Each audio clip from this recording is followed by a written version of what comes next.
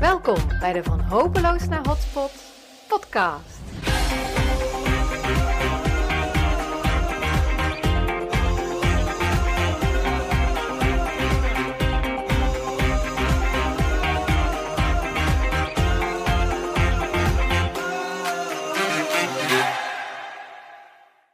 Hoi en welkom bij weer een nieuwe aflevering van de Van Hopeloos naar Hotspot podcast. Vandaag ga ik in gesprek met Maruja Gutierrez van Volop Brabant, die op een innovatieve manier zorgt voor een bijzondere invulling van leegstaande panden in Brabantse binnensteden. Ik dacht, dit moet ik gewoon met je delen. Dus Maruja, welkom in deze podcast. Dankjewel Sandra, superleuk om eh, mee te mogen doen met jouw eh, podcast. Ja, ik vind het echt zo leuk dat je er bent. Ja, En uh, dat gaan de gasten ook, uh, of onze luisteraars ook enorm kunnen waarderen. Zou je eens even willen vertellen, Maruga, wie ben je en wat drijft jou? Um, nou, ik ben dus Maruga Gutierrez. Ik kom uh, uit Den Bosch. Ben ook hier geboren en getogen en ook trots op onze bosse stad. ik woon zelf ook midden in, in de stad. Dat is ontzettend leuk om dan ook voor je eigen stad te kunnen werken natuurlijk. Hè? Ja, tuurlijk. Um, ik heb een commerciële achtergrond.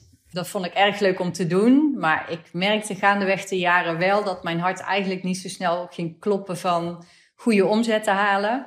Maar meer van de inhoud, kansen creëren, weet je wel. Buiten de geëikte paden durven denken en doen. Samen de schouders eronder zetten en uh, nieuwe dingen proberen. En uh, zo'n elf jaar geleden heb ik de switch dan ook gemaakt om die commerciële wereld uh, een beetje achter me te laten.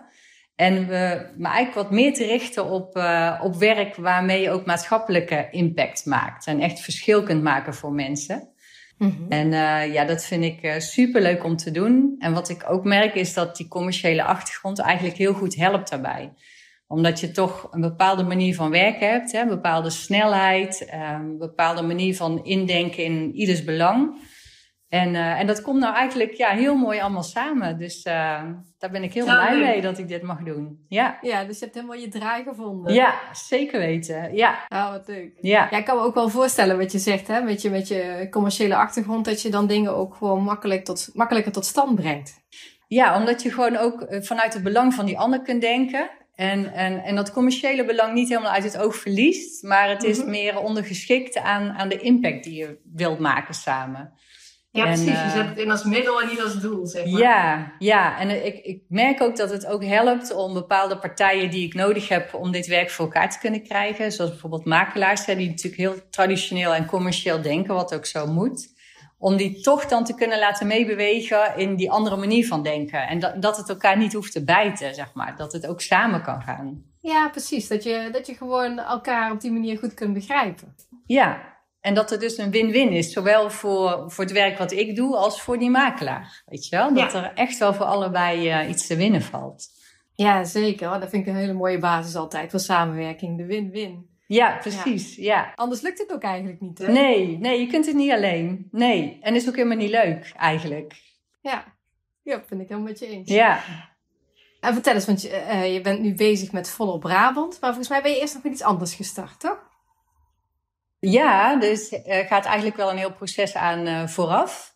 Ik ben um, zo'n acht jaar geleden, denk ik ondertussen al, uh, ben ik gaan werken bij een creatieve denktank hier in de stad, in Den Bosch. En wat die creatieve denktank eigenlijk deed, is ideeën ophalen van, van de burgers uit de stad. Want mensen hebben supergoeie ideeën, maar die worden vaak niet gehoord of gezien of hebben niet het netwerk om hun idee verder te brengen. En vanuit die denktank verbonden wij allerlei partijen en stakeholders aan elkaar en aan die burgerinitiatieven om die initiatieven dus van onderop verder te brengen. En een van mijn onderwerpen daar was leegstand. En uh, daar is eigenlijk dus het zaadje geplant van wat nu volop Brabant uh, is. Toen die creatieve denktank namelijk ophield te bestaan, stond ik voor de keus van ga ik iets heel nieuws zoeken, iets heel anders doen?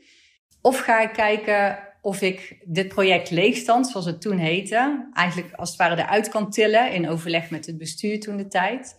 En daar een eigen stichting voor kan oprichten. En toen is de stichting Volop Den Bosch geboren. Dus ik ben begonnen in Den Bosch. En nu, een aantal jaren verder, is het Volop Brabant, omdat we die aanpak dus nu uitrollen naar ook andere Brabantse steden. Oh, wat mooi. En, en doe je dat alleen of met wie werk je samen aan het uitrollen? Um, nou, ik heb altijd een hele leuke club vrijwilligers om me heen. Sommigen komen en gaan en anderen zijn heel trouw. Ik heb een collega John de Roy, hij is gepensioneerd. Hij zegt ook altijd in kennismakingsgesprekken: ik doe alleen wat ik leuk vind. En dit vind ik leuk. dus het is heel fijn om, om, mensen ook aan boord te hebben die, ja, die mijn rechterhand zijn en die me kunnen helpen en een netwerk willen inzetten. En, en zo heb ik een clubje mensen om me heen die mij ondersteunen. Maar in principe ben ik de enige ja, betaalde kracht, om het zo maar te zeggen. De officiële verantwoordelijke voor het hele project. Ja, precies. En je weet dan mensen enthousiast te maken om jou te helpen. Ja, ja, die het ook leuk vinden om te doen. Ja, ja. ja. En vertel ons eens, wat doet Volop Brabant precies? Um, nou, de kern van wat we doen is, um, ik, ik vertelde al, ik woon in een bos, dus uh, ik fietste heel vaak door de stad en ik zag eigenlijk steeds meer leegstand ontstaan. Zeker een aantal jaren geleden ging dat ineens heel erg snel. Toen werkte ik dus bij die creatieve denktank. En toen sprak ik zoveel mensen met goede ideeën, iedere dag weer. Maar allemaal mensen die eigenlijk het geld niet hadden om te zeggen van... nou, dit is zo'n mooi idee, ik ga een pand huren midden op de markt in een bos... en ik ga dat eens aan het publiek, publiek laten zien. Het zijn ook eigenlijk twee heel verschillende werelden. Hè? Die, die vastgoedwereld, wat traditioneler, wat meer natuurlijk gericht... Hè, of gestuurd door de economie en door het geld... En de wereld van de creatievelingen, de kunstenaars, de sociaal-maatschappelijke projecten de start-ups, jonge mensen met nieuwe concepten, nieuwe ideeën, die eigenlijk gewoon helemaal niet zichtbaar zijn in de stad. En hun ideeën bloeden ook vaak dood, doordat ze gewoonweg niet het podium krijgen om, uh, om te experimenteren en door te ontwikkelen. Dus het idee achter Volop is eigenlijk die twee werelden aan elkaar verbinden en dus kijken wat daaruit ontstaat. En dat heb ik dus, uh, ben ik dus gaan doen nog vanuit die creatieve denktank. En wat Volop nu doet, is dus lokale initiatieven ophalen die mensen begeleiden in het, uh, hun dromen zeg maar, op papier zetten. En samen met hen te gaan kijken van waar zou jouw concept nou het beste passen in jouw eigen stad. Uh, dan gaan wij als volop in contact met de makelaar, met de pandeigenaar. We gaan proberen een afspraak te maken, tot elkaar te komen. Hè. Dus heel belangrijk dat, dat mensen elkaar ook leren kennen en ook vertrouwen hebben in elkaars concept uh, en in volop. En wij gaan dus kijken of zo'n initiatief, zolang het pand leeg staat, dat pand mag gebruiken. En soms is dat tegen gebruikleenkosten, dus betalen ze alleen gas, licht en water. En soms, eh, omdat zij ook bijvoorbeeld een start-up zijn en daar ook geld gaan genereren, zegt zo'n eigenaar van nou, pand kost eigenlijk eh, 2000 euro. Jullie mogen bij wijze van spreken voor 500 euro starten. En dan gaan we om het half jaar met elkaar aan tafel om te kijken van hè, hoe is het rendement? Kun je meer huur betalen? En zo kunnen dus lokale initiatieven doorgroeien, ook naar een structureel karakter. En dus ook bijdragen aan hun eigen stad. Dat is eigenlijk het idee erachter. Ja, supermooi. En, en wat voor lokale initiatieven kan ik dan aan denken? Heel veel verschillende soorten, maar ik kan ze eigenlijk een beetje onderverdelen in drie categorieën. Um, dan kun je denken aan maatschappelijke projecten, maatschappelijk uh, sociale projecten of initiatieven. Je kunt denken aan, culturele en kunstgerelateerde initiatieven, zoals bijvoorbeeld kunstenaars. Uh, en ook startende ondernemers, dus de start-ups. Maar het leuke is dat in de praktijk zie je dus vaak dat het een mix is van die drie aspecten bij elkaar. En, en dat vind ik persoonlijk, dat maakt het zo leuk om bij een volop initiatief binnen te stappen. Want je stapt eigenlijk niet in een echte winkel binnen. Het is ook niet echt een, een atelier. Uh, maar er is van alles te zien en, en te beleven. Heel vaak brengen die initiatieven ook ambachten terug in het straatbeeld.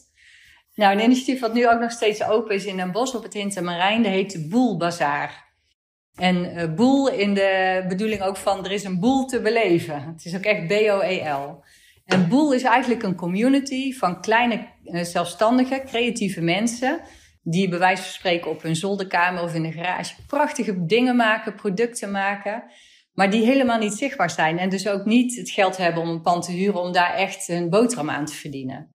Nou, en Boel is een community waar je dus als kleine zelfstandige bij kunt aansluiten. Ze hebben een heel groot pand van meer dan 400 vierkante meter. En als je daar binnenstapt, dan word je overspoeld door uh, allerlei unieke handgemaakte producten. Dus het is een hele creatieve omgeving. Mensen zijn daar ook daadwerkelijk aan het werk, dus die laten hun ambachten zien. Dus je kunt in gesprek met de maker van zo'n product, wat natuurlijk nog veel leuker is. Als je zo'n product koopt, dan zit daar een heel verhaal achter. Mm De karttrekker van Boel Bazaar, Monique, die begeleidt ook die zelfstandigen in het ondernemerschap. Die helpt ze ook met bijvoorbeeld de boekhouding. Hoe gebruik je social media? Maar ook hoe werk je samen? Want die ondernemers zijn er nu geloof ik 80. Die vinden elkaar allemaal bij Boel Bazaar. Dat merk je ook als je daar binnen stapt. Het is echt gewoon een community.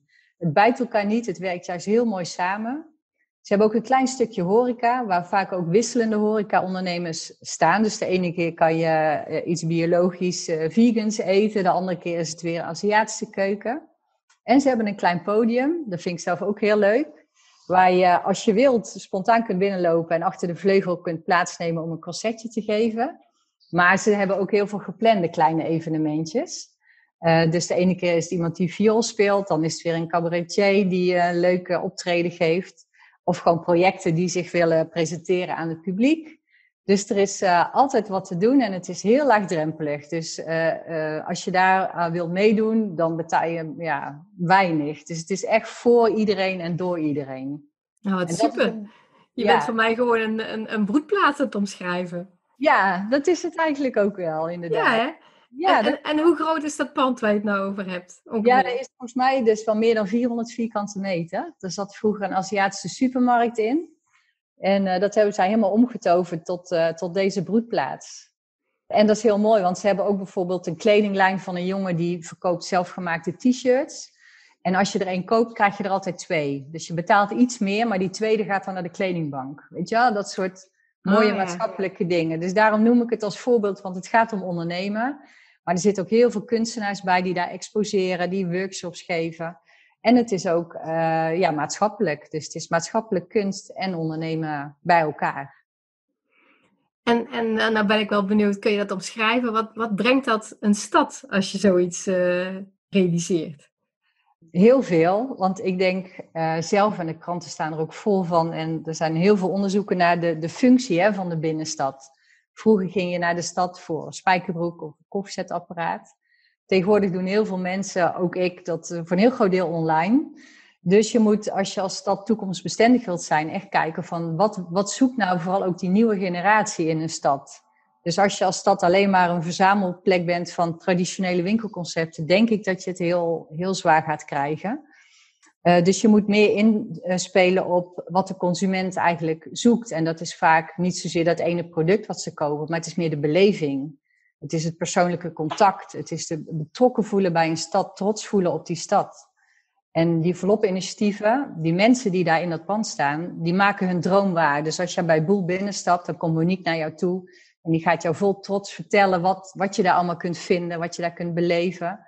En dat maakt jouw bezoek aan Den Bosch veel meer een, een ervaring die je ook doorvertelt aan andere mensen. Van, goh, je moet eens naar Den Bosch, want daar zit Boelbazaar of daar zit kindertheater Pieterpaf.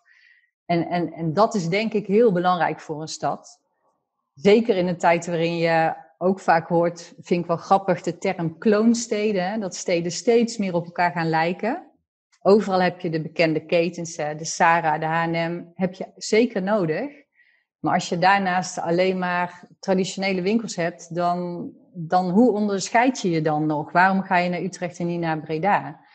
En Volop werkt dus alleen met lokale initiatieven. Dus als je in Den Bosch Volop initiatieven bezoekt, zijn het allemaal Bossenaren. In Os zijn het allemaal Ossenaren. En dat geeft een persoonlijk gezicht aan de stad. Dat geeft kleur aan de stad. En ik denk dat je, dat, dat heel belangrijk is. Dat je onderscheidt, dat, ja, dat het uniek is en dat er steeds weer nieuwe dingen te beleven zijn. Ja, ja ik begrijp heel goed wat je zegt. Want hè, er wordt vaak de term gebruikt van we gaan van een place to buy naar een place to be. Hè? Ja, ja. Alleen dat is dan heel mooi gezegd, maar hoe doe je dat dan? En jij helpt concreet met de invulling daarvan. Hè, jij helpt met het verbreden van de functies van zo'n binnenstad. Je helpt innoveren, je verbindt de mensen eraan die ja, ook wat je zegt zo mooi, hè, hun dromen willen waarmaken. Dus ook echt ja, vanuit zichzelf, vanuit hun eigen hart iets willen creëren. En ook iets wat voor hun stad is. Of dorp, maakt niet uit, weet je wel? Ja. ja. Dus eigenlijk die energie van mensen die iets nieuws willen, die iets bijzonders willen realiseren, die weet jij dan te koppelen aan die leegstaande panden in de binnenstad. Ja, en wat je daar dus ook mee bereikt, is dat je die talenten verbindt aan je stad. Hè? Want als mensen, want ik, ik hou ook altijd ik, heel veel contact met al die volop initiatiefnemers. En die zeg, vraag ik ook van, als je deze kans nou niet had gekregen in een bos, hè, wat was je dan gaan doen? Want het is, blijft toch jouw droom? Ja, dan was ik misschien wel naar een andere stad gegaan waar ik wel die kans zou krijgen. En ik denk dat dat heel belangrijk is voor een stad om dat te beseffen. Dat je, je moet het met je, met je eigen inwoners ook doen. En dat die burgers betrekken bij hun eigen stad, dat is volgens mij ook heel belangrijk. Ja, en ik denk dat je nog iets doet, hè? want je verbindt die burgers eh, die iets willen aan de stad en je verbindt die initiatiefnemende, sorry, initiatiefrijke mensen aan elkaar. Mhm. Waardoor dat ze samen dingen kunnen oppakken en elkaar kunnen inspireren. En ja, je nam net ook al het woord community in, in de mond. Ja, ja. het zijn niet meer de eenlingen, maar je verbindt de mensen met ambitie met elkaar. Waardoor dat die nog meer kunnen bereiken, denk ik. Ja, ja dat klopt. En je, ze zeggen tegenwoordig ook vaak inderdaad wat jij net zei, hè, van place to uh, buy naar place to be, naar place to meet, hè, is de volgende stap die ze dan zetten. En daar komt de term sociale meerwaarde steeds meer om de hoek kijken. Ik weet niet of jij daar in jouw werk ook uh, mee te maken hebt, met die sociale meerwaarde. Ja. Hè? ja. En wat ik zo interessant vond, ik heb ooit een lezing gehad van uh, Lianne Zuilen van de Avans Hogeschool hier uit Den Bosch. En die legde ook uit wat nou eigenlijk die sociale meerwaarde uh, precies is. En zij zei het zo mooi, de mens ziet zichzelf niet als uh, consument, maar als individu. Dus je moet die consument ook als individu behandelen. De mens ervaart die sociale meerwaarde als ze zich betrokken voelen bij een stad. En dat creëer je door heel veel persoonlijke interactie, vertelde ze mij. En mensen willen ook concepten bezoeken waar een bepaalde betekenis achter zit. Want heel veel mensen zeggen sociale meerwaarde. Maar je hebt toch heel veel horeca in een bos. Natuurlijk is dat ook sociale meerwaarde, hè? want het gaat ook om ontmoeten. Mm Als jij een kopje koffie drinkt op een terras, weet je dat de achterliggende gedachte van die ondernemer is natuurlijk geld verdienen. Daar is niks mis mee. Maar uit dat onderzoek kwam naar voren dat die sociale meerwaarde veel meer wordt beleefd als je een initiatief bezoekt of een concept waar een betekenis achter zit. Zo heb je in een bos boefjes en barista's, daar kun je koffie drinken. En tegelijkertijd kunnen, als je jonge kinderen hebt, die kinderen kunnen met oudere mensen die daar in dat verzorgingstehuis wonen, gaan knutselen, leuke dingen maken, met elkaar praten, boekje voorlezen. En dat bedoelen ze met die sociale meerwaarde. Daar, daar zijn mensen steeds meer en meer naar op zoek. En ik denk zelf ook omdat je dat vind je niet op internet. Hè. Je kunt ook uh, dingen bestellen op internet, maar dat, dat sociale, die impact, dat verbonden voelen, dat kan toch echt alleen in een stad. En ook nog eens als je dan dit soort initiatieven hebt die daarop inspelen. Ja, zeker. Hè? Mits je dit soort van dingen hebt. Hè? Want uh, ja. het is wel echt voorwaarden scheppen, denk ik, voor uh, ja, die sociale meerwaarde die je wil creëren. Ja. Als, je, als je dit soort dingen, initiatieven, als die niet, die ontstaan niet vanzelf. Hè? Daar, daar gaat er behoorlijk wat energie in zitten. Ik weet dat jij heel hard werkt. Ja, ja. Ja, ja, dus ja, het staat niet vanzelf. Maar het is, het is iets waar mensen waarschijnlijk onbewust ook wel naar op zoek zijn, denk ik. Ja, dat denk ik vaak ook inderdaad onbewust. Dat ze het niet zozeer in de gaten hebben. Maar ik denk als je als stad daarop vooruit loopt en dat dus gaat bieden, dat mensen echt een reden hebben. Je moet ze een reden bieden om naar jouw stad te komen. En als het gewoon een fijne plek is om te verblijven. Er is van alles te zien en te beleven. En we hebben ooit een heel mooi initiatief naast de H&M hier gehad in een bos. Het was een soort pop-up gallery, waar om de zes weken nieuwe kunstenaars, die eigenlijk een beetje tussen de wal en het schip vielen, die waren te goed voor de amateur en nog niet goed genoeg voor de professionele kunstwereld. Die exposeerden daar. En uh, Charlon was de karttrekker. Die deed dat ook heel goed. Iedere zes weken een nieuwe opening. En de kunstenaars waren zelf ook aanwezig. Dus bij wijze spreken ben je met je dochter bij de H&M geweest en je denkt, hé, hey, wat gebeurt hier? Er staat iemand te werken. Hier kan je ook even een kopje koffie pakken. En dan stap je daar binnen, dan bewonder je kunst, heb je een gesprek met die kunstenaar en dan ga je weer door. En dat maakt volgens mij jouw dag ook compleet. En dat besef je denk ik pas als je thuis bent en je denkt, oh dat was eigenlijk heel leuk. Ik heb echt dingen gezien waarvan ik van tevoren niet wist dat ik die zou gaan zien. Ja, ik kan me voorstellen, ja. Ja, en dan moet je inderdaad, daar loop je je dan ook bij uit. Dat is niet iets waar je dan uh, doelgericht of zo. Misschien in de vervolgstap wel, dat je denkt van, god ja, dat is wel leuk. Ben kijken, hè, toen was daar die leuke opening, eens kijken wat, wat er nou weer te beleven is. Uh, ja. Precies, en dan moet je denk hebben dat mensen om die reden ook graag terugkomen. Ja, ja. En uh, je bent in meerdere binnensteden actief, hè? Ja, klopt. Ja. Vertel eens, waar ben je allemaal bezig? Uh, nou, we zijn uh, vorig jaar, begin vorig jaar gestart in uh, Waalwijk. Daar heb je nu volop Waalwijk. De mhm. projectleider daar is Marlene Drouwen. Zij is ook centrummanager in Waalwijk. Dat was een hele leuke samenwerking. En uh, vanuit Volop ben ik dan een jaar lang daar bij haar aanwezig om samen het fundament te leggen van wat is nou Volop. Want Volop is niet alleen zij of ik, dat is het hele team van makelaars, pandeigenaren, initiatieven, gemeenten. Dat is denk ik ook wel voor een groot deel waarom Volop werkt, omdat je de stad uh, een soort van gezamenlijke verantwoordelijkheid maakt. En niet alleen van die ene pandeigenaar of van die ene ondernemer, maar je moet het echt samen doen. En bij Volop komen al die mensen bij elkaar, zeg maar. En in uh, Waalwijk hebben we ook een heel mooi initiatief in een pand van meer dan 700 vierkante meter, midden op het Raadhuisplein. En dat heet het GMHK, het uh, Museum voor Hedendaagse Kunst. Daar hebben we acht Waalwijkse kunstenaars zitten daarin, in een leeftijd van 24 tot 84. Dus er zijn ook nog verschillende generaties die daar uh, zitten. Oh ja. Ja, dat is echt heel leuk. Verbinden echt... van generaties ook dan, hè? Ook nog, ja. ja. En verschillende disciplines van kunst. En ik moet je zeggen, daar ben ik ook super trots op. Het is aan een hele leuke club uh, mensen, die kunstenaars. Ze hebben vooral heel veel lol samen. dat is ook heel belangrijk. Als je daar binnen stapt, dan voel je dat ook, dat ze daar met plezier staan. Uh, ze laten allemaal zien hoe ze hun ambachten uitvoeren. Dus er zit uh, op dinsdag een glasblazer. De andere keer zit er iemand met leer te werken. De andere keer is een fotograaf bezig. Het, het is echt wel een museum. Je ziet echt kunst op een mooi hoog niveau, maar het is heel toegankelijk. En de kunstenaars vertellen over wat ze daar doen en hoe ze het maken. Ze hebben ook een heel leuk klein museumwinkeltje. Ze hebben ook gastexposanten. En om de zoveel tijd hebben ze leuke, leuke events, leuke lezingen, noem maar op. En uh, omdat het zo'n heel groot pand is midden in Waalwijk, ook nog eens ingevuld nu door acht Waalwijkse kunstenaars, trekt dat heel veel publiek. Ik heb ze voor de vakantie gesproken en toen zei, uh, zeiden zij dat ze al boven de 4000 bezoekers zaten. En, hoe lang? In welke hoe lange tijd? Uh, ze zijn daarin gegaan volgens mij in, moet ik even denken, augustus vorig jaar of september. Ja, zoiets. Dus ik denk, ze zitten daar nou, nog geen vol jaar in. Hm. Ja, dus, uh, en dat is natuurlijk voor Waalwijk geweldig. Hè? Het maakt trots. Iedereen kent wel iemand die daarbij betrokken is. Jazeker. En ze doen ook uh, samenwerken met het Schoenenmuseum, want ze gaan daar een Schoenenmuseum bouwen. Hè? Want ja. Waalwijk is natuurlijk van oudsher een leerstad. Maar dat zie je eigenlijk niet meer zo in de stad. Dus er zijn allerlei goede projecten achter de schermen gaande om, om die leer, hè, die, die identiteit van leer bij Waalwijk weer terug te brengen. En zij hebben bijvoorbeeld ook mensen die vrijwilliger waren bij het Schoenenmuseum. Die zitten daar ook te werken. Ze hebben hele grote kunstwerk met schoenenleesten in het midden van het pand. Ja, het is echt heel Waalwijks. En dat vind je dus ook alleen in Waalwijk. En dat vind ik persoonlijk zo leuk. Als je naar Os gaat, zien we hele andere verloop-initiatieven die weer echt Os zijn. Ja, precies. Ja. ja. Dus eigenlijk die couleur lokaal, die weet je te, te vangen, hè? Ja. Samen met de mensen waar je mee samenwerkt. En zo'n mooi groot pand, wat daar dan leeg staat, hoe jammer ook, geeft het wel ruimte voor zoiets dan. Zeker weten, ja.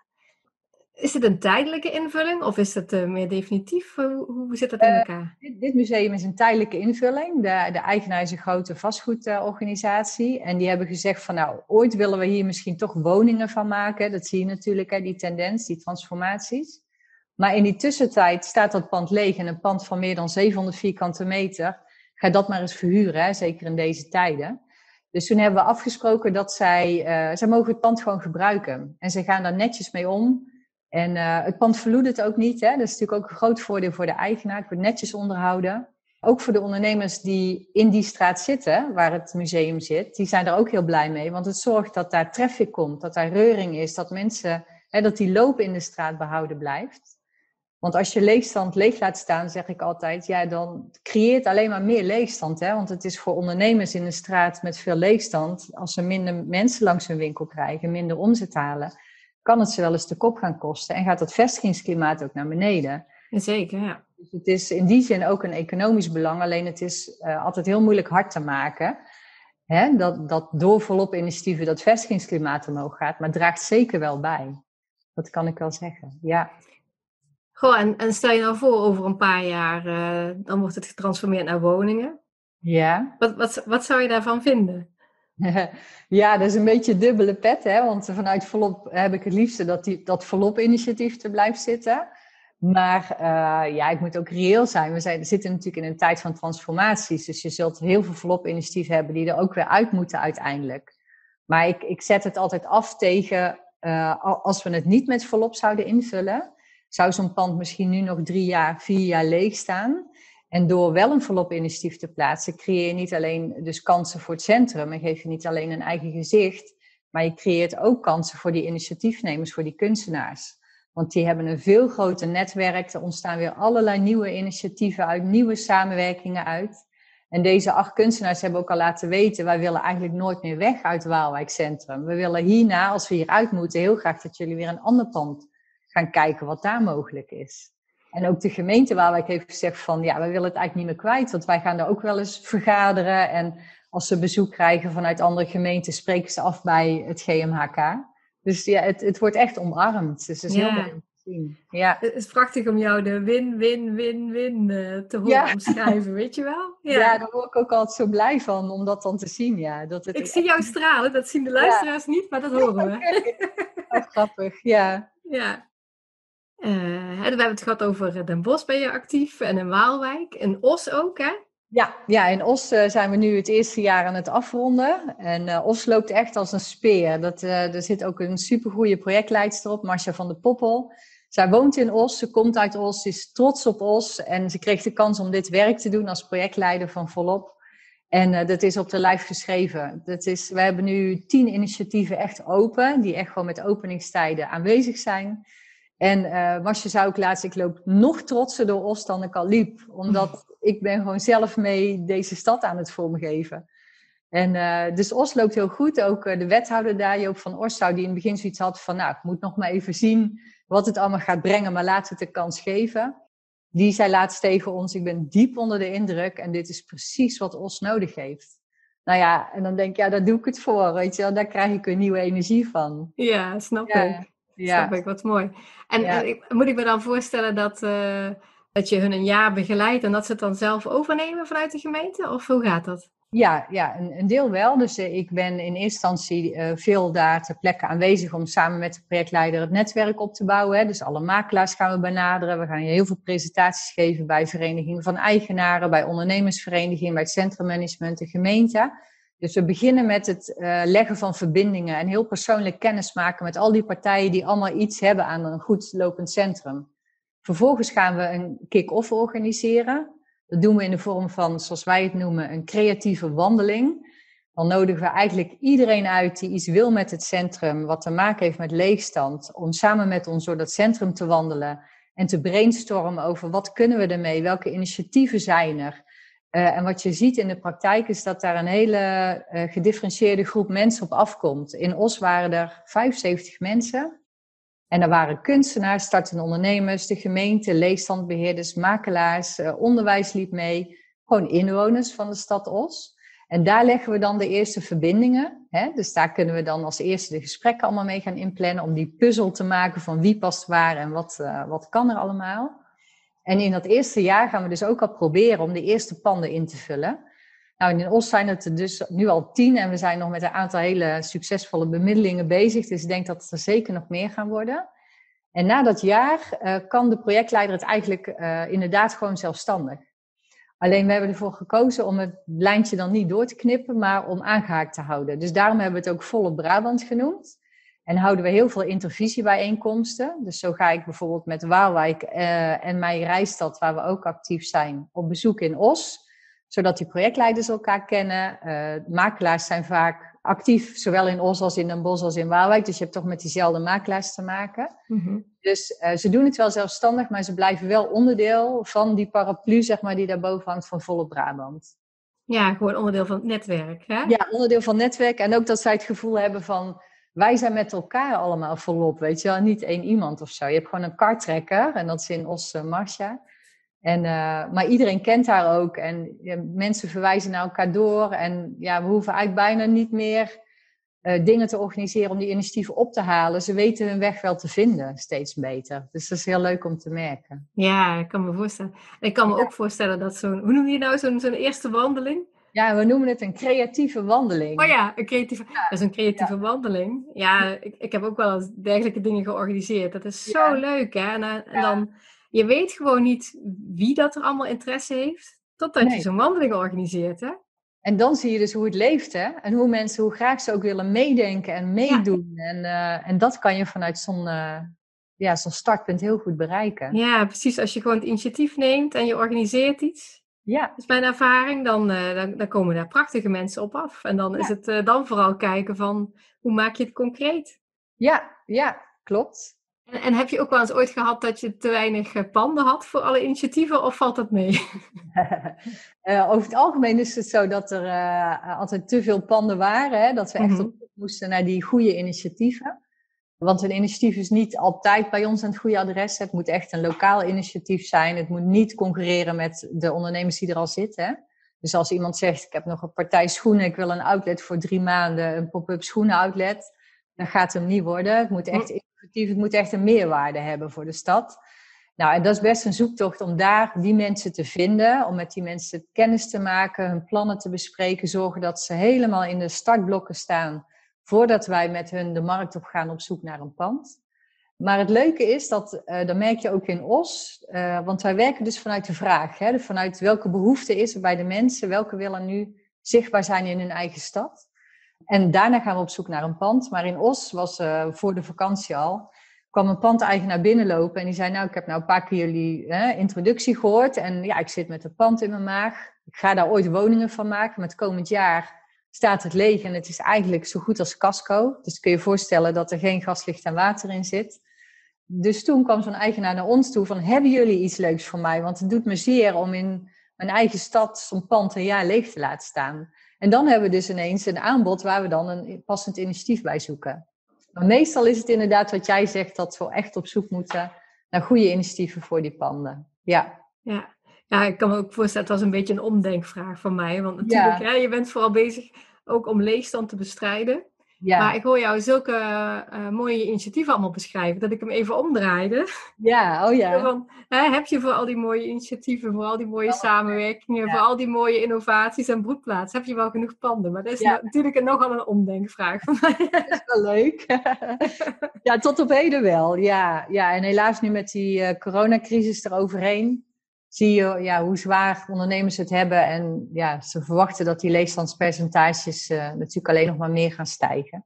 Ja, precies. Daar wilde ik eigenlijk ook al een vraag over stellen. Van, ja. uh, we zitten nu midden in de coronatijd. Ja. En ondernemers hebben het uh, zwaar. Ja. En ja, ik snap natuurlijk dat het moeilijk is om daar al helemaal op in te spelen. Maar hoe, hoe zie jij de gevolgen hiervan zich ontwikkelen? En hoe zouden we daar verstandig op kunnen inspelen, denk jij? Ja, ik denk dat door die coronacrisis het nog duidelijker wordt waar je als stad, uh, welke behoeften je gaat vervullen als stad. Dus die veranderende functie van die binnenstad, zeg maar. Uh, doordat er heel veel leegstand is, dat klinkt een beetje raar, maar ontstaan er ook kansen om het anders te doen. Hè, kijk, als een stad helemaal verhuurd is, er is geen ruimte om te bewegen, dan zit die gewoon dicht en dan is die stad gewoon wat die stad is. Door die leegstand ontstaat er letterlijk en figuurlijke ruimte om het anders te kunnen gaan inrichten. Uh, in Os zijn we bijvoorbeeld nu in gesprek met een aantal organisaties die heel graag ook een soort broedplaats willen, willen midden in, in Os. Omdat ze zien dat uh, ook heel veel studenten thuis achter een laptopje een beetje zitten te ja, verpieteren, zeg maar. Ze missen dat contact. Dus ze willen eigenlijk een soort uh, werkplek, een soort broedplaats creëren waar studenten terecht kunnen, maar waar ook ZZP'ers terecht kunnen. Waar die weer van elkaar kunnen leren, maar wel met een open karakter. Want dat is wel een voorwaarde voor volop. We moeten altijd eraan denken dat als een bezoeker, bijvoorbeeld in dit geval OS bezoekt, en een volop initiatief tegenkomt, dan moet dat altijd iets zijn waar je denkt, daar stap ik even binnen. Weet je wel? Dus het moet niet helemaal op zichzelf naar, naar binnen gekeerd zijn, het moet echt naar, open, naar buiten toe, naar open zijn. En ik denk dat uh, door die corona en doordat er dus meer leefstand komt, dat we dat soort functies meer kunnen gaan mengen in onze binnensteden. Dat het ook meer placemaking wordt, hè? is ook zo'n term die je veel hoort. Want een stad moet gewoon een fijne plek zijn om, om te verblijven. En um, door die corona zie je ook, vooral ook hier in een bos, ik weet niet of je ervan hebt gehoord, de Bosse Zomer. Nee, dat ken ik nog niet. Nee? Nou, dat hebben ze echt geweldig gedaan. Complimenten daarvoor. Op hele leuke, unieke, gekke plekken hebben ze in, in samenwerking met de horeca hele leuke uh, plekken gecreëerd. Zo heb je de parkeergarage de Wolvenhoek, midden in de stad. Ja, ken ik. Hebben ze op het dak, hebben ze een aantal horeca-ondernemingen uh, samen daar een heel mooi uh, terras laten bouwen. Het is ook heel creatief, heel sferisch. er zijn ook steeds optredens, silent disco-avonden, cabaretières die optreden. Ehm, je hebt ook als je Den Bos binnenrijdt vanaf Vught, zeg maar, heb je een grasveld. Dat is eigenlijk gewoon een grasveldje. Er staan twee wooncomplexen bij. Maar die kijken altijd op een leeg grasveldje. En nu hebben ze daar een hele grote tent gebouwd. En ook allemaal kleine tentjes. Dus dan kan je met je eigen picknickmandje kan je daar in een tentje kruipen. En kan je daar lekker gaan zitten picknicken. Ze hebben een jeu de boelbaan gebouwd. Dus je kunt daar gaan jeu de boelen. Je kunt ook gewoon horeca daar een biertje bestellen, een hapje eten. En dat denk ik dat die corona ook met ons heeft gedaan. We zijn meer naar buiten gegaan. We zijn meer met andere ogen naar die buitenruimte gaan kijken. Mhm. en, en, nogmaals, dan komt dus placemaking om de hoek kijken van hoe richt je het nou in dat het een fijne plek is om te verblijven met elkaar. In plaats van dat we niet die auto vooraan in de straat willen hebben. Nee, we willen een ruimte om gezellig samen te zijn. En ik denk dat dat wel kansen zijn, omdat we dat nu kunnen gaan experimenteren met elkaar. Ja, precies. Het is inderdaad een aanleiding om het uh, op een nieuwe manier in te richten, nieuw te beleven. Ja. En, en, en, zeker wat je zegt, is het hè, de elementen van placemaking. Van hoe zorg je dan ook dat het een fijne plek is om te zijn. Ja. en niet alleen de openbare ruimte als een soort van snelweg tussen winkels, bewijzen van. Ja. Dat je er ook gewoon graag vertoeft. Ja. Dat je ook het gevoel hebt dat je niet per se iets hoeft te kopen, maar dat dat kan. Ja, dat hoor je ook nog veel zeggen van, uh, ja. ik voel me alleen ergens uh, uitgenodigd om te kopen en ik zou daar meer willen beleven. Mhm. Maar ik hoor je ook iets anders zeggen, namelijk nieuwe economie. Ja, als je het hebt mhm. over OS, daar is natuurlijk een, een, een economie gebaseerd op, ook op biochemie, et cetera. Waar Organon was natuurlijk daar groot en die zijn weggetrokken. Ja. Je bent voor zo'n stad ook altijd op zoek naar nieuwe economische dragers. Klopt. En ik denk dat uh, de binnensteden, de ruimte die daar ontstaat, mhm. ook een perfecte plek en podium zijn voor mhm. nieuwe economische functies. Zoals ik je dat net al hoor omschrijven, hè, met die werkplekken. Ja, klopt. Ja. ja, je gaat het meer mengen. Je gaat het op een andere manier inrichten, zowel binnen als buiten. Ja, ja. En, en ik denk nog een ander aspect wat jij benoemde is van hè, iets voor de jeugd. Ja. Dat is ook een bekend fenomeen dat veel jeugd en jongeren, met name de middelgrote steden, verlaten. Mm ja. Tenzij je natuurlijk op de een of andere manier die jeugd en jongeren aan je weet te binden. Ja, klopt. Ja. dus als je, als je daarop inspeelt, ja, dan is het deels nieuwe economie, is het dus nieuwe verbindingen en het is mhm. ja, je, je jeugd en jongeren ja. Ja. bij je houden. Ja. ja, en er zijn ook heel veel jongere collectieven die ook helemaal niet zo zichtbaar zijn. Hè? Die kun je ook heel goed in een pand, een winkelpand plaatsen en daar hun de dingen laten zien die ze maken, de, de, de samenwerkingen die ze hebben. Uh, we hebben in Os ook zo'n jongere collectief gehad. Die willen ook een ruimte waar ze podcast kunnen opnemen, waar ze mensen kunnen ontmoeten. En, en vooral als je dat weer combineert met een ander initiatief, want dat doen we ook vaak, dat we kijken van, nou je hebt een heel mooi initiatief, maar, maar lukt het om dat alleen helemaal te dragen, om alleen uh, tijdens die openingstijden open te zijn, of zullen we gaan kijken of we het kunnen mengen? En dat we dan gewoon op zoek gaan naar een iets groter pand, maar dan krijg je hele leuke kruisbestuivingen. Ja. En dat, dat maakt het ook weer leuk om daar dan binnen te stappen, weet je wel. Dat je en met jongeren kunt praten en je ziet kunstenaars. En die, die mix vind ik altijd heel erg leuk. Ja, ja. ja, ik vind het wel grappig, want ik ben al bijna twintig jaar met, nou al langer met herontwikkeling bezig. Ja. Vroeger was het dan bijvoorbeeld op, uh, in Eindhoven, oude Philips industrieterreinen die een andere functie uh, moesten krijgen. Ja. En daar zijn allemaal van dit soort van mooie initiatieven ook geland. En die zijn ontzettend in Eindhoven ontzettend belangrijk geweest voor de verbreding van de economie. En voor het behouden van creatieve mensen voor de stad. Voor ja, een, eh, veel meer een uitnodigend karakter geven, et cetera. Ja. En, dus, en nu heb je ja, bijna overal wel leegstand en binnensteden. En zoals mm. wij hier nou in het praten zijn, lijkt bijna alsof we een soort van het blij zijn met die ruimte. Maar dat is niet omdat, bedoel, want het is natuurlijk vreselijk dat er zoveel leegstand is en dat ondernemers het daar zwaar en moeilijk hebben. Mhm. Maar we, we, delen een soort van de, de, de vreugde en de blijheid over wat er allemaal toch ook mogelijk is. En wat dat weer aan goede dingen met zich meebrengt. Het, het creëert echt wel weer kansen. En ja, het is goed dat jij dat zo ook benadrukt, want anders zou het een beetje raar klinken, weet je wel. Van we zijn blij met leegstand. Nee, natuurlijk niet. Maar het, is, het is een feit, weet je wel. We moeten er iets mee. En dan kun je zeggen van laten we het leeg staan totdat er een partij komt die de marktwaarde kan betalen en een contract voor vijf jaar tekent. Of gaan we in die tussentijd kijken van kunnen we het ook anders inrichten? En dat we dus die leegstand, wat natuurlijk een doorn in het oog is, kunnen ombuigen juist naar een kans voor de stad. Ja, precies. En, en de ondernemers die er zijn en die het nu zwaar en moeilijk hebben, maar die wel gewoon nog daar een winkel hè, of een horecagelegenheid ja, gewoon willen voortzetten. Om die ook weer nieuwe aanlopen uh, mee te geven. Uh, en dat ze meer onderdeel zijn van een ja, bloeiende community waar ook geld wordt verdiend, waar mensen graag zijn. Ja, ja, klopt, helemaal mee eens. Ja, dus het is, het is een soort van groeidiamant die je erbij uh, zet overal. Ja, want wij hebben echt, we zijn ook wel nuchter in die dingen. Ik bedoel, door verloop naar je stad te halen, los je niet meteen het, het hele issue rondom toekomstbestendigheid van steden op. Maar het is gewoon een onderdeel van om een, om een, ja, een, een goede stad te hebben die gewoon een goede toekomst tegemoet gaat. Ja. En Verloop is dan de organisatie die ervoor zorgt dat we A, de juiste initiatieven selecteren, want niet iedereen is bij ons aan het goede adres.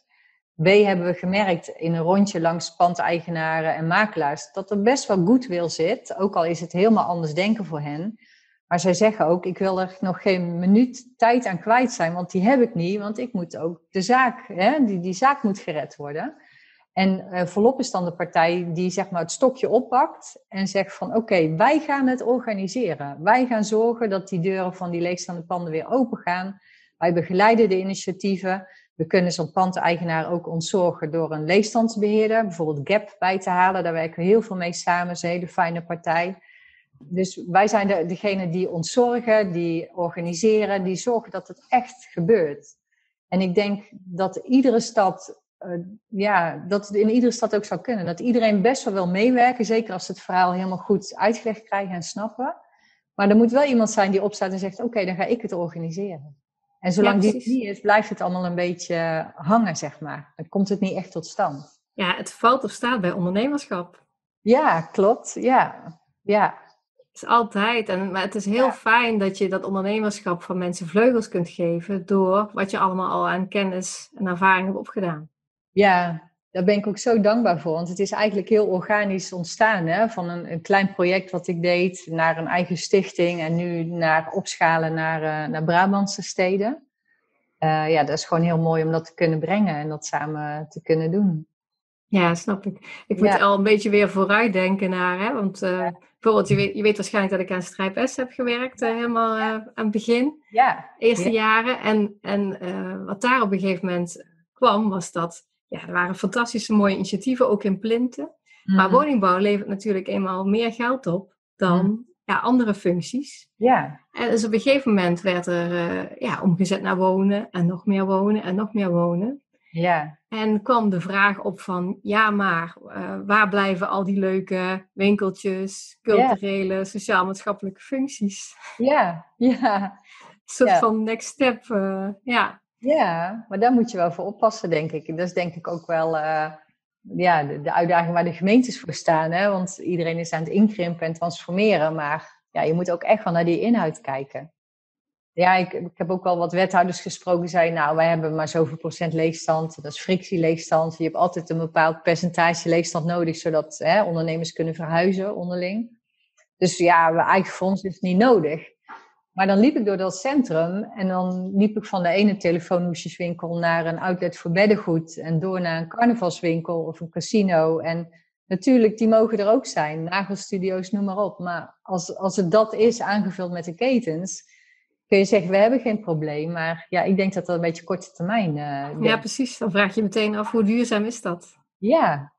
En welke betekenis heeft het ook voor de inwoners? Ja, en wat voor DNA? Hoe zet je je dan neer als stad? Weet je wel? Wat is dan je profilering? En waarom gaan mensen jouw stad dan bezoeken?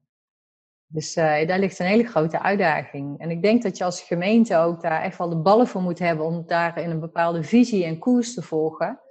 Dat je zegt, zo gaan we het doen. En in de praktijk merk ik vaak dat die gemeentes nog helemaal niet goed in contact staan met de, de vastgoedeigenaren. Dat dat echt nog twee verschillende werelden zijn.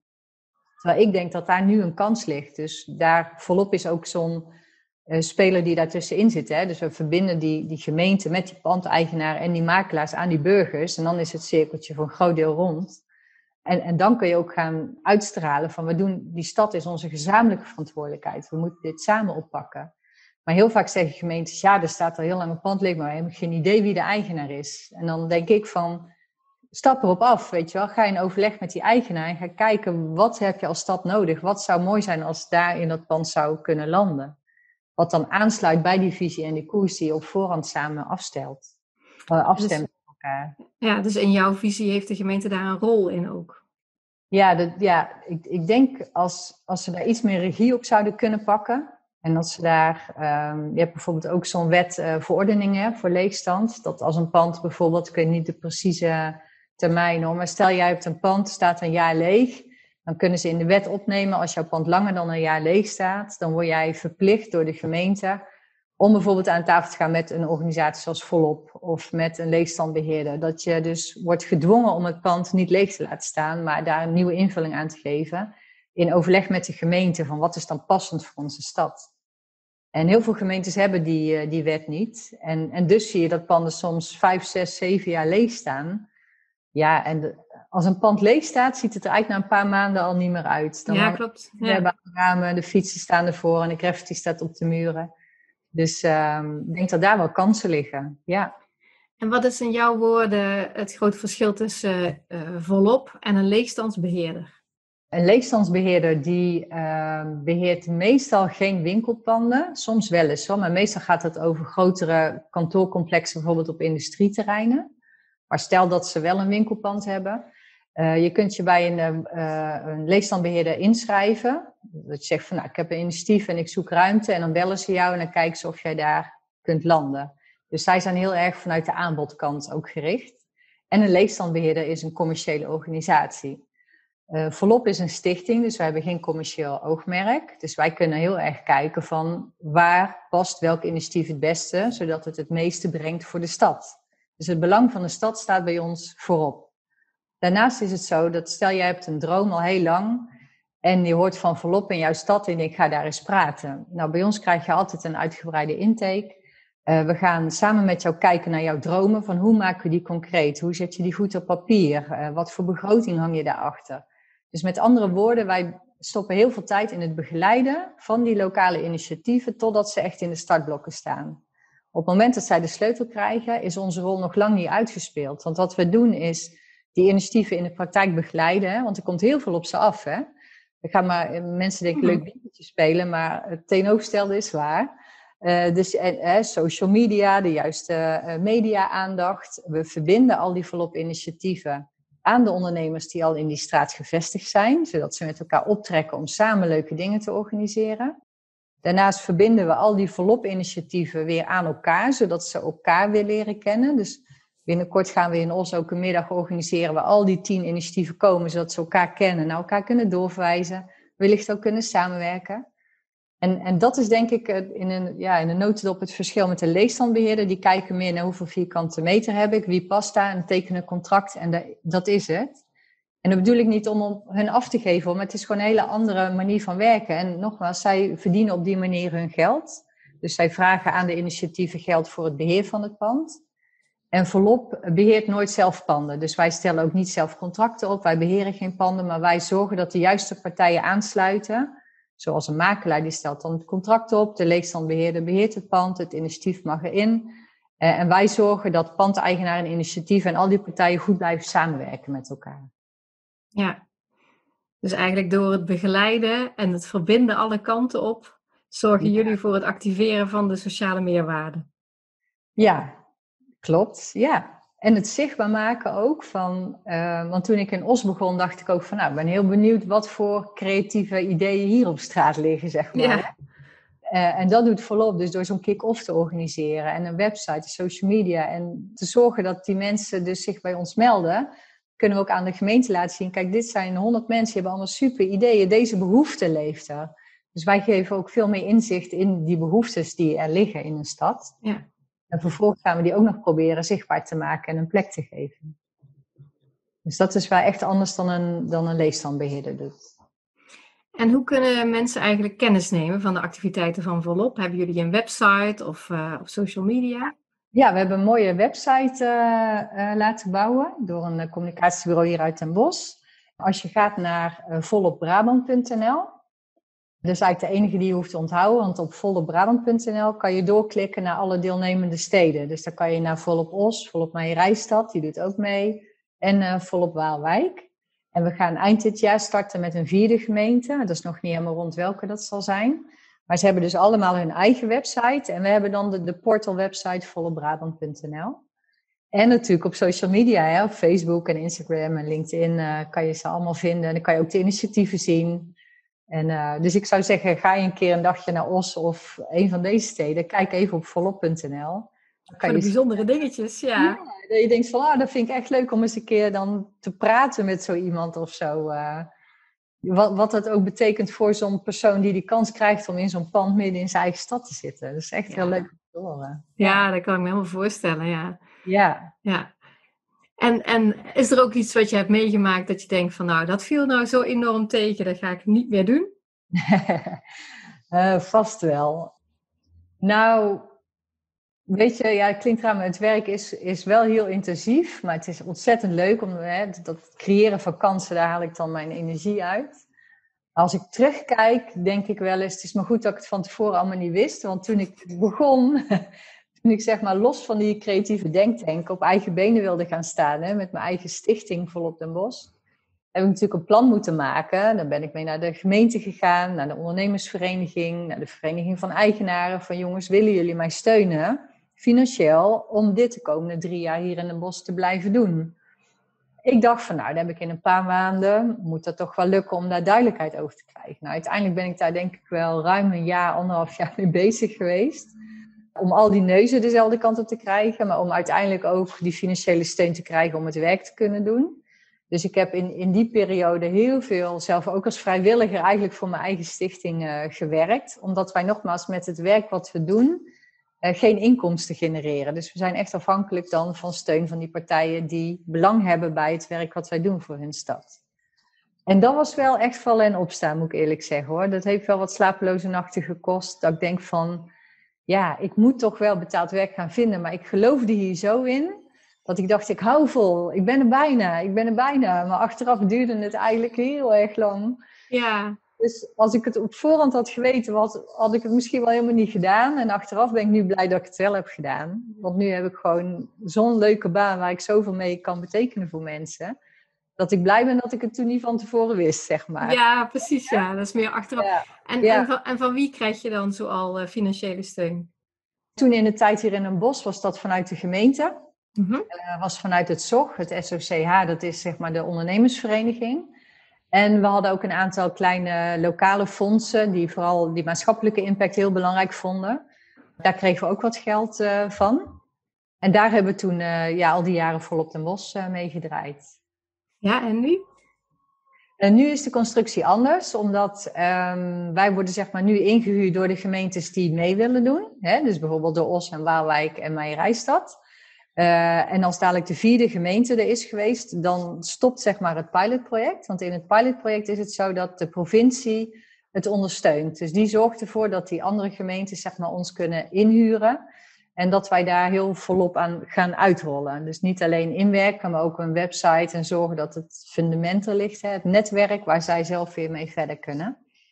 En na die vierde gemeente gaan we dus kijken van kunnen we echt op eigen benen staan? Op wat voor manier kunnen wij nu ervoor zorgen dat gemeentes ons wellicht rechtstreeks kunnen gaan inhuren in plaats van via de constructie via de provincie. Mm Het is gewoon een hele grote testcase al heel veel jaren, zeg maar met vallen en opstaan. Maar uh, ja, het werkt wel. Je moet wel volhouden, maar het werkt wel. Ja, ja. moet vol, volhouden met volop. Maar ja, volop volhouden. Ja, maar ik kan me voorstellen dat je, dat je nu gewoon zoveel hebt om te laten zien. Ja, ja heel veel. Je ja. hebt gewoon echt heel veel om te laten zien. En het is ook, denk ik, iets wat enorm in een behoefte voorziet. Dus ik heb daar heel veel vertrouwen. Ik heb daar alle vertrouwen in. Volop vertrouwen. Ja. Oh, wat mooi. Ja, ja joh. Ik vind het echt heel, uh, heel bijzonder wat jullie doen. En uh, ja, ik ga, zeker, ik ga ook zeker jouw tip te harte nemen van... Hè, ga je winkelen in Os? Kijk van tevoren even welke... Hè, naast de gewone winkels die je wel verwacht aan te treffen, maar... Ja, Os zit blijkbaar volop bijzondere initiatieven. En welke zijn dat dan? Hé, hey, en dan ga ik daar ook kijken, weet je wel? In Os zit ook een keramiste waar je ook binnen kunt lopen voor workshops. We hebben laatst ook een jongen gehad die, uh, die zit in het straattheater. Die doet vooral optredens uh, bij uh, festivals. Nou, je kunt je voorstellen dat dat natuurlijk helemaal heel zijn kaarthuis instortte door die corona. Ja. En zijn vrouw zit in de horeca, dus nou, er was echt wel even paniek in de tent. Toen zijn we met hem een aantal gesprekken aangegaan en nu zit hij midden in Os in een eigen winkelpandje. En wat je daar dus kunt zien is hoe hij zijn eigen pakken maakt. Want hij, hij, hij heeft een hele leuke act waarin hij in een heel groot roze gorilla pak zeg maar, door de stad loopt. Echt als een gorilla, je schrikt je rot. en, hij maakt al zijn pakken zelf en dat doet hij dus in dat pand. Dus je kunt hem daar aan het werk zien. Hij geeft daar ook workshops. Hij, hij leidt andere straattheatermakers leidt hij op. En het leuke is dat hij nu regelmatig dus denkt van... oh, ik ga even een rondje lopen door de stad als roze gorilla of als Stoneman heeft hij ook. Ik was er al bang voor, ja. Ja, hij heeft van alles. En uh, ja, en, dat is gewoon echt heel leuk. Dus je, als je tien initiatieven in Os bezoekt, zijn ze ook alle tien anders. Dus ja. Echt, ja, dat is echt een aanrader. Ja. leuk, superleuk. Want heb jij zelf wel eens um, uh, in jouw netwerk organisaties gehad die ook zoiets doen als wat Volop doet? Of is het toch iedere keer net weer wat anders? Nou, nee, kijk, ik heb zelf heel vaak een beetje gedaan wat Volop doet. Hè? Dus dan mhm. was er weer een, een leegstaande plek of gebied. Ja. En ik denk dan altijd van ja, dat biedt ook weer ruimte voor innovatie. Ja. En uh, laten we nou kijken welke welke behoeftes er allemaal zijn. En mm. gewoon ook iets organiseren. Dus in die zin is het heel erg vergelijkbaar. Ja. ik heb het dan vanuit de gemeente gedaan. Dus van eh, gewoon de behoeftepijlen, iets organiseren, workshops of een rondleiding waar partijen dan op afkwamen. En dan mm. vervolgens uh, uh, daarmee van onderop een gebiedsontwikkeling laden. Want ik hou er niet van om gebiedsontwikkelingen alleen te zien als een soort van gebouwde verdienmodellen. Dat vind ik echt vreselijk. Ja. Want dan krijg je nooit een ziel erin. Ja, dan heb je een soort van verzameling van ja, uh, werkunits en winkelunits en woonunits en dat is het dan. Het is Terwijl, ene gedachte, hè? Ja. Ja, dat is, dat is zo vanuit een, een tekentafel gedacht. Ja. Ik, ik weet hè, uh, inmiddels dat ja, als je echt iets van, van onderop organiseert, dat het dan een bezieling krijgt. Dat mensen er inderdaad hun dromen waarmaken, hun vleugels uitslaan. Ook, hè, je had net het woord start-up in de mond. Ja. ja hoeveel start-ups zijn er niet begonnen op Strijp S en inmiddels gegroeid, gegroeid, telkens daar verhuisd en dan op een gegeven moment zelfs ja, een, een plek daarbuiten moeten zoeken omdat ze uit hun jasje groeien. Dus geweldig. ja, die ja, dat, dat, ja, dat is geweldig voor hun, maar dat is ook geweldig voor een stad qua economische ontwikkeling, cultureel, sociaal, noem het allemaal op. Ja. Dus eh, in die zin vind ik het heel vergelijkbaar. En ik vind het ook, het doet me ook wel denken aan het verhaal van Geert Simonis. Ja. de manier waarop hij broedplaatsen ontwikkelt en hoe hij dat ook doet op zo'n mensgerichte manier. Ja. ja. ja. helemaal mee eens. Ja, vooral die ziel, hè? want je voelt het ook, vind ik zelf ook, als je een winkel binnenstapt je voelt gewoon een bepaalde sfeer. Hè? En, en als die klopt, zeg maar, als, die, ja, wat je zegt, als er een ziel in zit, dan voel je dat ook prettig. Dan blijf je daar ook langer. En als het echt gericht is ja, op, die, op die verkoop en het is zo ingedeeld vanuit, ja, gedacht vanuit die euro's en die stenen, is het een hele andere energie die daar hangt. Ja, en Ik, ik haast me dan altijd om erbij te zeggen van, het is voor mij de NN. Ja. Want als er heel veel bezieling in zit, maar je merkt gewoon aan alle kanten, er wordt geen geld verdiend, het is sappelen tot de macht 10, zeg maar. Ja. Dan, dat, dan voelt het ook niet goed. Het is allebei. Het is de juiste balans hè, daartussen. Ja. Klopt. Ja. ja. Hetzelfde als van, ik ben natuurlijk bouwkundige ingenieur, ben ik opgeleid. Ja. En op een gegeven moment heb ik gedacht van ja, maar waarom gaat eigenlijk al die gesprekken over gebiedsontwikkeling vooral over de hardware, over de stenen, ja. over de contracten, over waar er geparkeerd moet worden, over de bestemmingsplanprocedures. Terwijl, ja, dat is wel belangrijk, maar het gaat er vooral om dat zo'n gebied ook weer opnieuw van betekenis wordt voor mensen. Precies, en hoe krijg je dat dan voor elkaar? Dat ja, de, gewoon de hele de software en, en hoe als je dat, dat moet je altijd met meerdere partijen doen. Nou ja, en, ja, en van onderop. Ja, en hoe trek je nou de juiste partijen aan? Hoe krijg mhm. je die zover dat die op een goede manier samenwerken? Ja.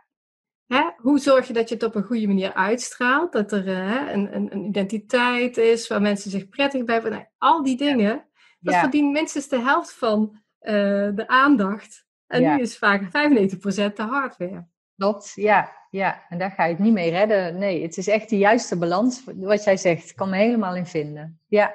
Ja, leuk. Ja, ik, ik, dus ik ben ook heel blij om met jou kennis te maken. Want ja, wij spreken elkaar nou pas voor de tweede keer. Ja, klopt.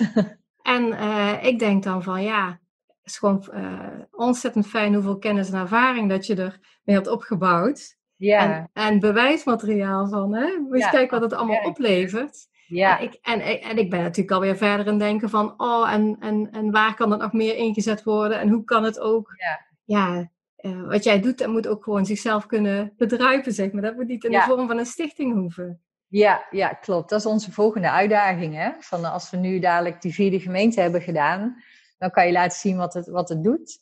En uh, ja, dan is dat uh, inderdaad waar we voor staan. Ja. ja. Ja, nou. Ik ben ook wel bezig met leuke trajecten. Dat is misschien ook wel leuk om te vertellen via Z en Sterk Brabant. Dat zijn twee organisaties die zijn uh, gelineerd aan de provincie. En die helpen vooral projecten zoals Volop om uh, op te schalen, om zichtbaar te zijn. Uh, die helpen met expertise. Die, die leggen verbind, verbindingen. Dus ze hebben ook een soort community van allemaal organisaties die aan het opstarten zijn. En met hun gaan we de Theory of Change methode toepassen. Eh, de TOC. En wat je daarmee doet, is eigenlijk de impact meten. Want je kunt denken van ja. Wil ik al vragen, ja. Ja, door volop in te zetten heb je minder leegstaande panden op het oog, zeg maar, hè, als je in een stad loopt. Maar het gaat veel meer om, wat betekent dat nou voor zo'n pandeigenaar als, als volop zijn pand uh, invult? En wat betekent dat voor de initiatiefnemer? Wat betekent dat voor de bezoeker van de stad? En dat ga je eigenlijk op een, een heel groot veld samen met elkaar, ga je dat helemaal invullen. Je gaat kijken naar wat organiseer ik, voor wie doe ik dat, welke input heb ik daarvoor nodig, wat is het effect op korte termijn, op lange termijn. En dan zie je dus, eh, dan ga je het heel erg kwalificeren. En dat is heel leuk, omdat je, natuurlijk weet ik wat we doen met Volop, maar als je het dan zo samen met elkaar helemaal gaat uitwerken, dan is de conclusie, ja, we maken gewoon echt verschil op deze manier. We zorgen er ook voor dat er dingen in beweging worden gezet. Dat niet iedereen vasthoudt aan ja, maar het pand kost nou eenmaal 2000 euro en ik heb alleen maar contracten voor vijf jaar. Dus als jij dat niet kan betalen, houdt het op. Nee, het kan ook voor minder met flexibele contracten, waardoor je uiteindelijk als pandeigenaar ook beter af bent, omdat je, ja, anders staat je pand nog twee jaar leeg, weet je wel. Maar ja. om die beweging in gang te brengen, daar helpt zo'n TOC ook heel erg mee. Dat je het echt gewoon visueel maakt, van welke impact maken we nou. En, en neem alsjeblieft ook mee van wat levert het op voor de stad? Ja, zeker. Ja, dat bedoelde ik met wat doet het voor de bezoeker en voor de stad. Uh. Oh ja, ja. ik, denk van misschien doen ze het niet, maar dat doe je al meenemen. Oh, ja, want... wel. Ja, ja, ja, dat klopt. Ja. Want uh, voor, voor veel mensen is, het, uh, ja, is meetbaarheid belangrijk. Ja, klopt. En dat is niet altijd even makkelijk. Nee. Sommige dingen ja, de loop in de straat uh, terugbrengen. Ja, ik woon zelf in Intemestraat. En er stonden een paar jaar geleden ook heel veel panden leeg. Daar had ik er vier ingevuld met uh, volop-initiatieven. Eentje ook met een soort tweedehands kledingwinkel waar ook de kledingbank bij aangesloten zat. Waar ook mensen die onder de armoedegrens leven en moesten solliciteren gratis helemaal worden aangekleed om goed op sollicitatiegesprek te gaan. Mhm. Dat zijn leuke dingen. En uh, nog, nog uh, de nieuwe winkel was ook een heel leuke soort nieuwe concept store. Wat toen nog eigenlijk, ja, nog, wat je nog niet zo heel veel zag. Nou, zo nog meer. En iedere keer als ik door die Hinterstraat fietste, zag ik de reuring die zij brachten. Bankjes die werden buiten gezet, een kop koffie die ze bij elkaar dronken, de fietsen die er stonden. Als er dan een evenementje was, allemaal jeugd die daarop afkwam. Maar ja, ga dan maar eens meten, weet je wel. Dat is echt heel lastig om dat hard te maken. En, uh, en dat hoop ik met zo'n TOC, uh, ja, dat, dat, dat ik dat toch wat meer kan aantonen om te laten zien van, uh, dit, dit is het effect. En ik kan ook, um, ik hou ook altijd bij van hoeveel initiatieven plaatsen we, hoeveel vierkante meter vullen we daardoor in, hoeveel mensen zijn direct betrokken en zijn indirect betrokken. Want bijvoorbeeld zo'n Charlon, waar ik je net over vertelde, die dan exposities organiseert om de zes weken het is een initiatief voor één iemand, voor hem. Maar in die acht maanden dat hij daar zat, heeft hij misschien wel tachtig kunstenaars een podium geboden. Weet je wel? Dus dat zijn de indirect betrokken mensen. En zo meten we eigenlijk ook zoveel mogelijk kwantitatief wat, wat het effect ervan is. En die combinatie tussen kwantitatief en kwalitatief kan dan een heel goed beeld geven. Uh, en daar kwam ook uit, en dat wilde ik zeggen, dat in 95% van de gevallen als een initiatief eruit moet, uit een pand van volop, dat dat was omdat het pand verhuurd was. En nou kan ik natuurlijk nooit hard maken dat er komt omdat er al die tijd een mooie initiatief in zat. Maar je kunt er best wel een conclusie uittrekken dat een pand makkelijker verhuurt als het gewoon op een goede manier wordt gebruikt dan dat het jaren leeg staat. Ja, dat bedoel, dat is bij een woning ook al zo, hè? Ja, hè? Ja. Ja, ik probeer een woning te verkopen die jaren leeg staat. Ja, ja, dat is heel lastig. Iedereen denkt, er is iets mee. Uh, hè? Ja, ook dat, ja. Ja. ja. Maar gewoon, ik kan me voorstellen, ik bedoel, er zijn hele rapporten volgeschreven door uh, uh, de retailconsulenten, waarin de loop in straten toch ook wel gewoon is gekwantificeerd. Mm -hmm. Je zegt van, hoe verbeeld ik nou dat er reuring is? Ja. Dat zijn gewoon ook de, de, de passantenstromen. Ja, alleen ik bedoel meer van hoe kan ik nou aantonen dat dat komt omdat er volop initiatieven bij zitten. Het is heel moeilijk te zeggen, jij komt wel door volop en jij niet, weet je wel? Ja, maar misschien, ja, dat snap, ik snap dat je dat zegt, maar eh, ik kan me voorstellen toen in de Hinthamerstraat die, die panden leeg stonden. Ja. Op datum, uh, weet ik veel, 2018. Ja. Dat er toen minder passantenstromen waren dan dat het er nu zijn. Ja, ja. Ja, daarom zeg ik al, je kunt daar echt wel conclusies uit trekken. Alleen het echt heel hard maken, dat is altijd moeilijk met dit soort dingen. Hè? Ja, dat is wel moeilijk, maar het is wel goed om het gewoon in beeld te brengen. Ja. En, en gewoon te zeggen van, nou ja, hard maar weet niet, maar je rolt bij wijze van spreken zo je rol uit van dit is wat er allemaal is, vooral, hè, wat er is gebeurd. Ja, klopt. En dan mag de ander de conclusie eraan verbinden of die, daar, uh, of die dat waardevol vindt. Ja. ja. Ja, dat is waar. Ja. Ja, dus ik ben nou heel dankbaar dat ik dat in samenwerking met de provincie ook in andere steden kan laten zien. Dan, uh, ja, dan kun je steeds meer uh, een soort van bewijzen. Hè? Van kijk jongens, dit werkt. Dit is ook echt wat, wat de toekomst vraagt. We moeten gewoon meebewegen. Ja, en dat een plek maken voor iedereen, weet je wel. Dat je ook, uh, als je bij Starbucks koffie gaat drinken, dat is niet voor iedereen te betalen, weet je wel. Want hier in Den Bosch, dat zit er nu niet meer in de Pastoor de Kroonstraat, ook een heel mooi initiatief waar ook kleine theatertjes eh, optredens waren, waar je ook voor een paar euro of een paar cent koffie dan kon drinken als ondersteuning voor de tijd dat je daar dan verblijft natuurlijk in het pand. En uh, ook poëzieavonden, discussieavonden, weet je wel, daar kwamen echt heel veel mensen op af. En, en, vaak ook wel mensen die, ja, die wat minder makkelijk mee kunnen in, ja, wat ik al zeg, de Starbucks en, en de dure merkkleding. Ja. Ja. Dus het moet voor iedereen een fijne plek worden. Ja, dus- zeker. En, en wat ik nog wilde zeggen, kijk, je weet, ik ben strategisch adviseur voor de provincie Noord-Brabant. En ik weet dat voor hun die sociale meerwaarde ook een heel belangrijk aspect is. Ja. dus uh, jij bent blij met de provincie Noord-Brabant omdat zij het mogelijk maken om te, hè? Zodat ja. te zien wat er mogelijk is. Ja. Voor de provincie is het ook weer heel erg uh, belangrijke input. Om te laten zien, kijk, dit kan er. Hè? Dus als je het hebt over een win-win, die zit ook daar. Ja, zeker. Ja, het is gewoon een andere manier denken. En, en, en door een organisatie zoals Volop dan op te zetten die het ook echt gaat doen, kun je het ook niet alleen bij anders denken laten, maar je kunt het ook anders doen, weet je wel. Ja, precies. Gaat maar doen. ja. Ja, ja. Denken is heel mooi, maar uh, pas ja. het uh, gevolgd wordt door actie, dan gebeurt er ook echt wat. Ja, ja, precies. En wij zijn natuurlijk maar een kleine organisatie, maar daardoor zijn we wel heel laagdrempelig en, en kunnen we heel snel schakelen. En, uh, en, dat krijg ik ook vaak terug van, oh, maar oh, dus, hè, gaat volgende week hier al iets starten, weet je wel. Dat kan allemaal heel snel gaan. Ja, precies. ja, niet, niet moeilijk doen, maar gewoon... Hè? Gewoon doen samen. Gewoon doen, ja. maken, ja. Vertrouwen hebben en uh, laten zien wat, uh, wat er mogelijk is. Ja, ja, net zoals wij nou gewoon samen jouw eerste podcast aan het opnemen zijn. Ja, ja precies. Ja, ook gewoon doen, ja. Ja, ook gewoon doen, ja. En uh, heb jij, dan noemen we die gewoon ook even, heb jij ook een gouden tip voor binnensteden die worstelen met leegstand en neergang? Uh, ja, waar we net eigenlijk ook al een beetje zeiden. Hè? Ik denk dat uh, hoe moeilijk deze tijden ook zijn, dat, dat het ook kansen creëert. Dat we nu de ruimte hebben ook om het anders te gaan doen. Dus ik zou zeggen, um, kijk naar die sociale meerwaarde van je stad hoe zet ik die op dit moment neer? is die sociale meerwaarde te voelen in mijn centrum? En wat mis ik daar nog voor? Is mijn stad een fijne uh, plek om te verblijven? Uh, en vooral mijn gouden tip zou zijn, betrek de burgers erbij. Uh, Erik van Mer de oud-gedeputeerde, die zei... voor mij is volop het heroveren van de burgers van hun eigen stad. En dat vond ik zo mooi gezegd. Hmm. Want dat is ook zo, hè? want normaal is een stad wordt gerund door commercie en, uh, en door winkels. En dat, daar kom je als bezoeker, maar je bent er niet echt onderdeel van. En door juist die lokale bevolking ook met hun eigen initiatieven in die panden te, te hebben, herover je eigenlijk ook je eigen stad en word je dus meer betrokken.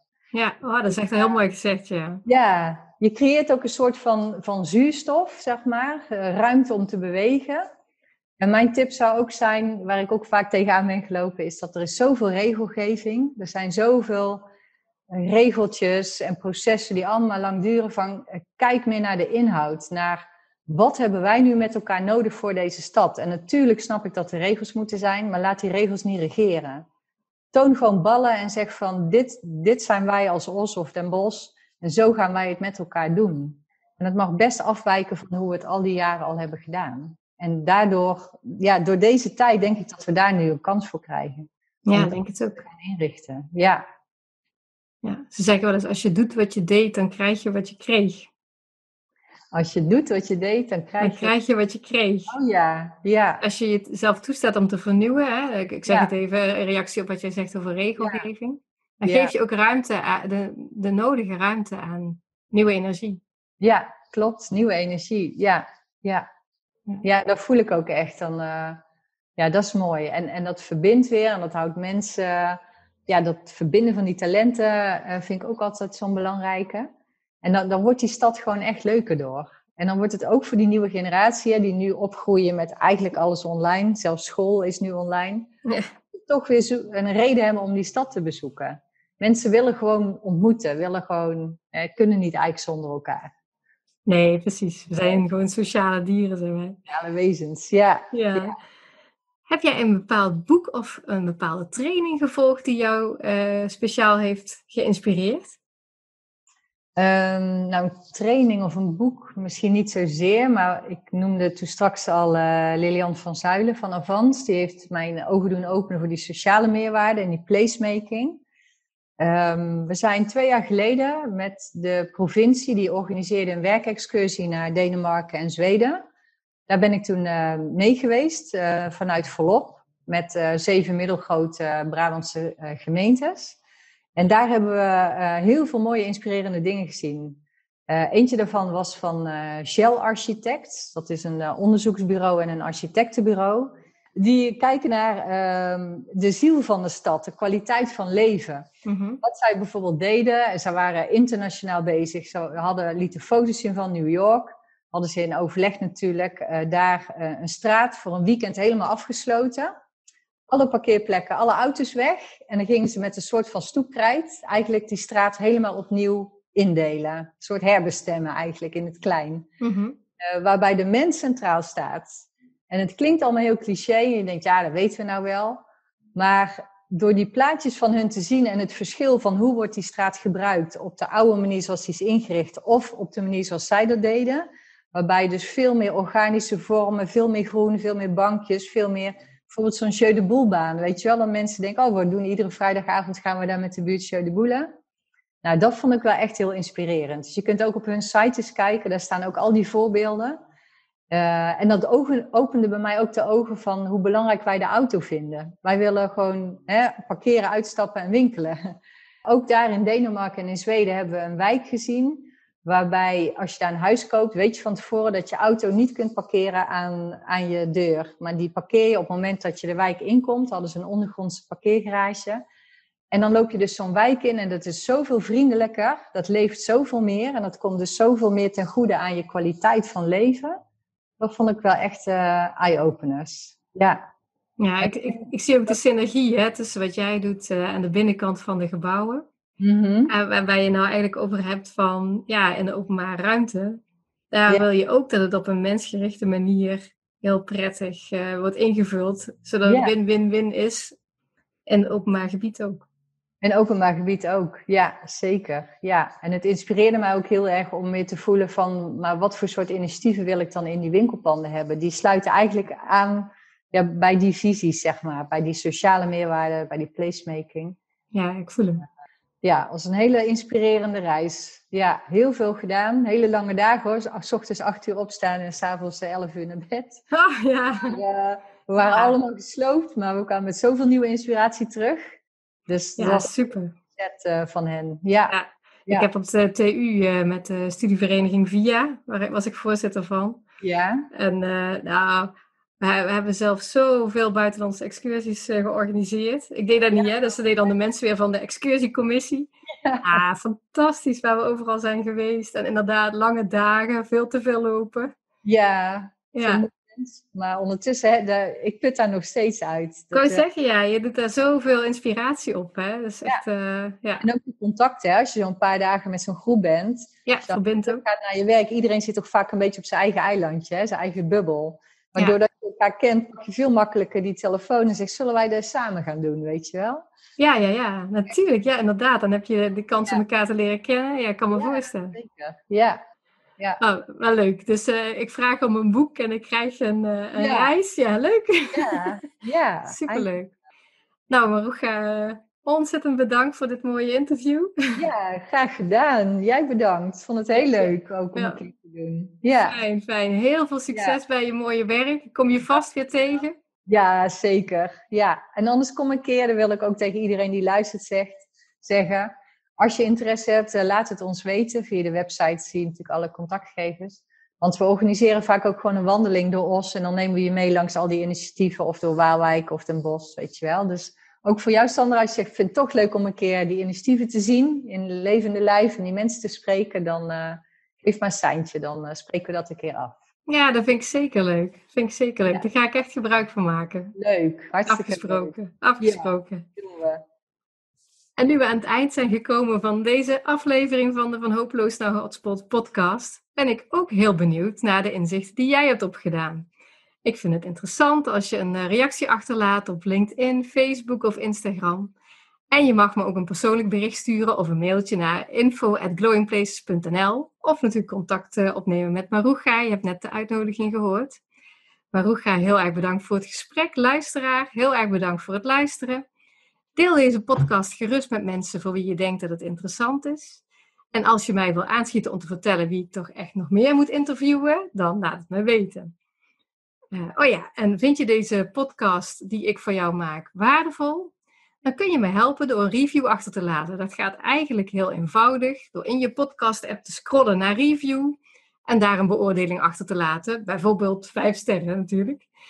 Eh, zo kunnen meer mensen de Van Hopeloos naar Hotspot podcast vinden en er hun voordeel mee doen.